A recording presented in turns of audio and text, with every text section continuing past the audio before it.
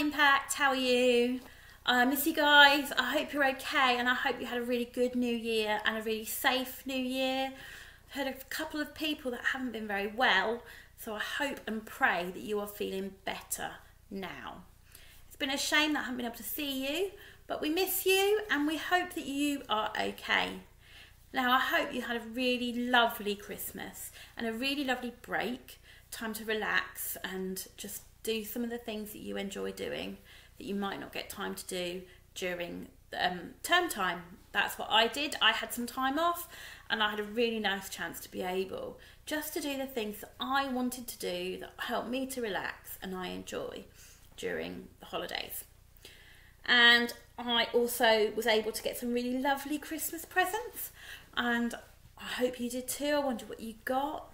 Um, I got a nice new ring and some theatre tickets and a hot brush, if you know what that is, girls. It's, you know, for doing your hair. And yeah, boys, don't worry about that. Um, but yeah, those were really nice things for me to get for Christmas. And I was really thankful for those things because they were the things that I asked for and that I really wanted. But at New Year, but we don't always put. Mm, mm, But the things that we want and the thing maybe the things that we get for Christmas should not be the most important thing in your in our lives. And we're going to have to think about that today. We're also going to think about a new year and you know New Year's resolutions. I wonder if you've made any. Um, I've made one. I'm going to tell you about it a bit later on. Some people choose to give something up. Um, people might say, I'm giving up chocolate or I'm giving up biting my nails, or I'm giving up something else. Um, or they might say, I'm going to start doing something. I'm going to start going to the gym. I'm going to lose weight. I'm going to save some money. Going to do my homework on the night I get it. That used to be one of mine. I was never very good at it. Yeah. Um, do my piano practice every night. That was also one that I struggled with, but it's a discipline that you have to learn. If you play an instrument, you might know. But yeah, so we make New Year's resolutions a goal, something we want to work towards, maybe towards the end of the year or something else. And that's fine, that's really good.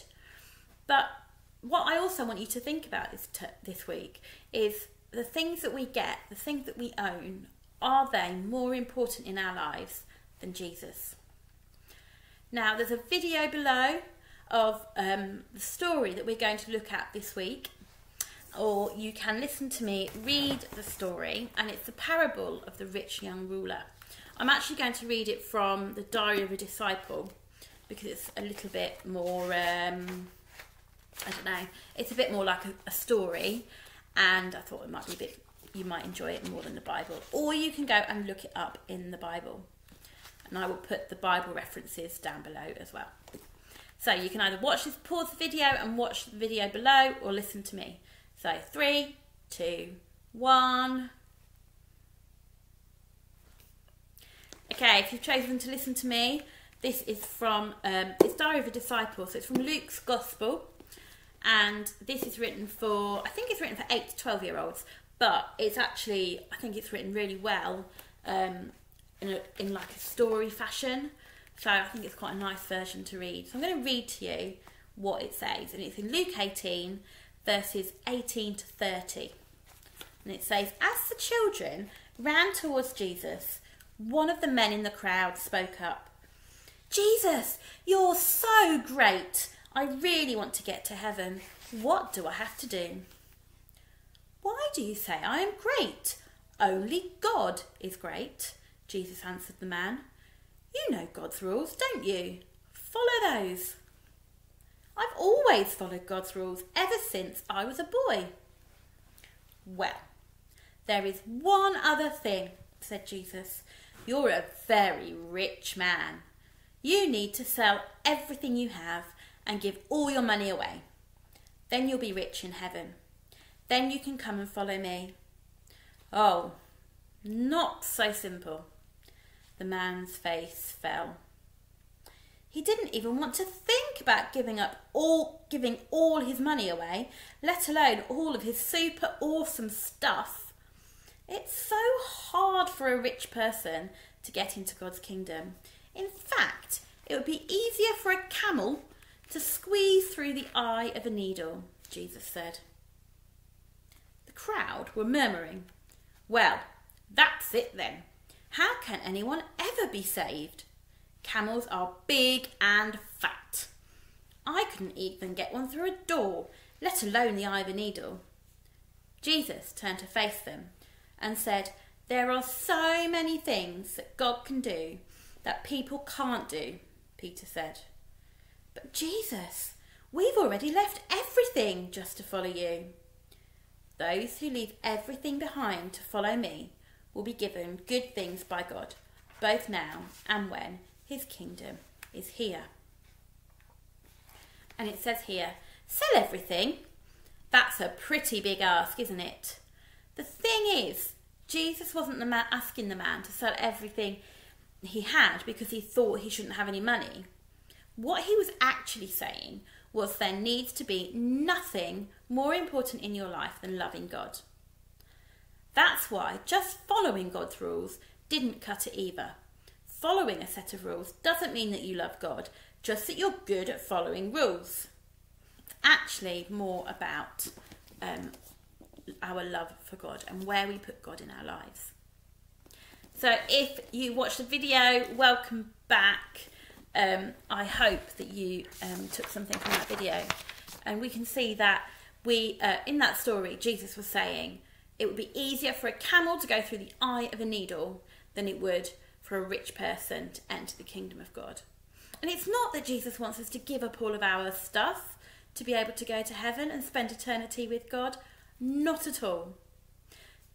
Jesus wants you to put God first above everything else, to worship God with your whole heart. Okay? So there might be something holding you back from worshipping God and following God with your whole heart. It might be that you like being on the TV, watching the TV, or playing on the Xbox, and that's more important to you than following God and worshipping God.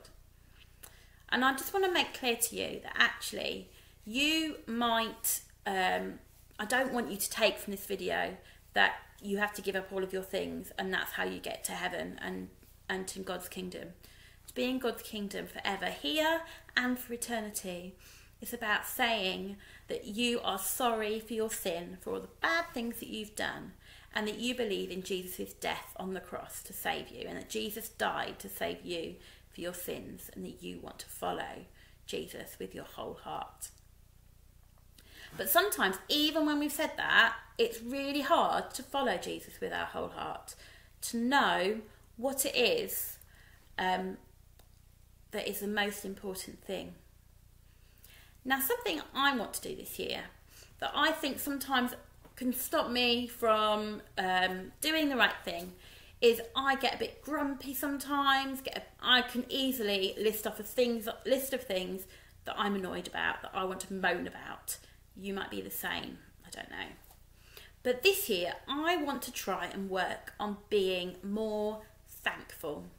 Okay, it's on the internet now, it's on YouTube, that means I've got to do it. So, the one thing that I want to do this year is I'm not going to give something up to follow God with my whole heart, but I'm going to take something up. I'm going to try and make sure that I say thank you to God every day for one thing every day, at least one thing every day. Maybe you might want to try that too. There might be something else you want to take up to worship God with your whole heart. You might want to make sure that you pray every day or read your Bible every day. Um, you might want to help at home help your family, because that is also a way of worshipping God by helping others and serving. So maybe that's what one thing that you could do this year. I want you to have a think of something you could either give up. It could be I'm going to give up playing on my phone at night and I'm going to get a good night's rest so I can do my best the next day for God. Could be I'm going to start reading my Bible more. Or maybe the same as me, you're going to try and be more thankful. I'd love it if some of you can help me do that as well. So let's pray. We're going to pray and um, we're going to ask God to make to help us to put Him first and worship Him with our whole heart in 2022. Father God, thank you that you taught us the most important thing to follow you. You taught us that it's most important that we follow you with our whole heart and that we don't put stuff, we don't put our things and all the things we enjoy above you. God, help us to have a thankful heart this year. Help us to put you first place in our lives. And God, I just pray, Lord, I pray that you will guide us um, to know what it is that you want us to do this year to worship you with our whole hearts. In Jesus' name, Amen. Okay, so I was going to tell you what I'm thankful for. And I'm going to say today that I'm really thankful that I'm able to do this video and I'm thankful for the technology and the way that I can still communicate with you. And I'm thankful for you guys too because I love you guys. I pray that you are okay and well and I really miss you. I miss being able to see you on Sundays. So I hope we can speak soon somehow and I'll be in touch. Take care. Bye bye.